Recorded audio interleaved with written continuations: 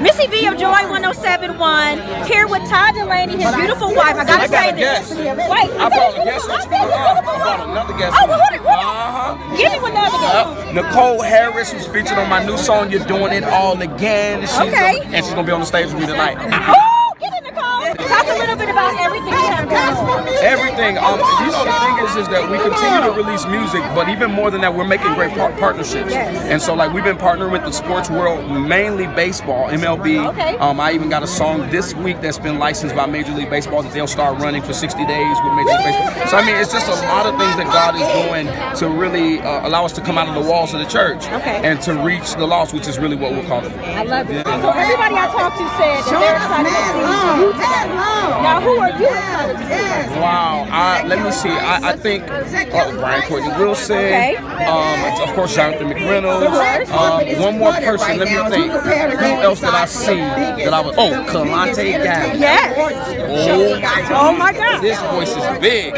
So yeah, those are my three. But I, I want to see everybody. Kirk, of course. Of course. Yeah, yeah. Thank so much. So. We love y'all.